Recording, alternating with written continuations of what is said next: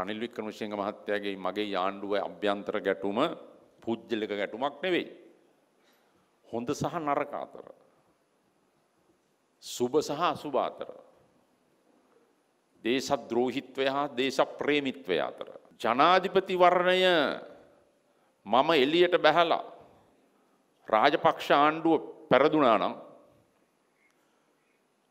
අගෝස්තු පාර්ලිමේන්තු මැතිවරණය මම පැත්තක් ගත්තේ නැතුව දෙපැත්තම පැරදුනා නම්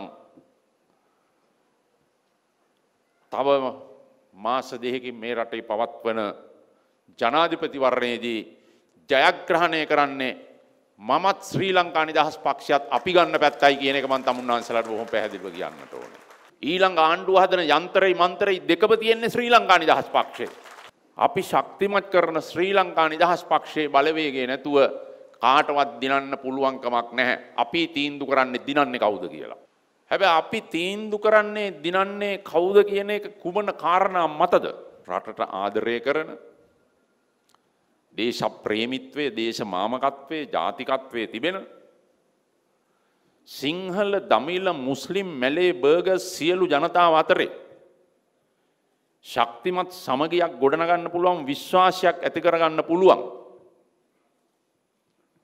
වැඩපිළිවෙලක් ඉතාම අවශ්‍යයි මේ රටට.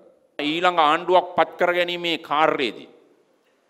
ඒ ඊළඟ ආණ්ඩුවේ පාරිශුද්ධ භාවය පිළිබඳව පිරිසිදුකම පිළිබඳව.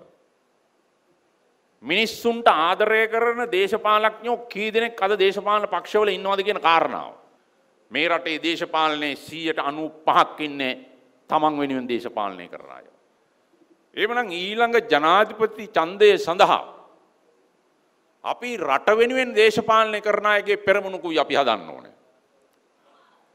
අද සන්දාන පෙරමුණු දේශපාලනය නැතුව කාටවත් ආණ්ඩු හදන්න බෑ. හැබැයි හොරු දූෂිතය වංචාකාරයෝ පාතාලයෝ අපරාධකාරයෝ මිනීමරුව කුඩුකාරයෝ මොන පක්ෂයේ හිටියත් ඒගොල්ලත් එක් ආණ්ඩු හදලා වැඩක් නැහැ. ජාත්‍යන්තර වශයෙන් අපේ රටට කොහොමද අපි ආශිර්වාදයක් ලබා ගන්න ආණ්ඩුවක් හදන්න. විදේශ බලවතුන්ට විදේශ බලවේගවලට යට වෙන්නේ නැති ආණ්ඩුවක්. අද රහසක් නෙවෙයි ආණ්ඩුවේ අයයි අපි අර විපක්ෂයේ අයයි ඔක්කොම තානාපති කාර්යාලත් එක්ක කතා කරනවා දේශපාලනය. SOFA ACSA millennium challenge American ගිවිසුම් මේ ඔක්කොම මේ පහුගිය මාස ගානේ ආවා. ඇමරිකන් තානාපතිතුමිය ඇවිල්ලා මාව හම්බ වුණා. මං ඇමරිකන් තානාපතිතුමියට කිව්වා මං කැබිනට් එකකට කිව්වා මම ඉන්නකම් ওই ගිවිසුම් අස්සම් කරන්න මම ඉඩ දෙන්නේ නැහැ කියලා.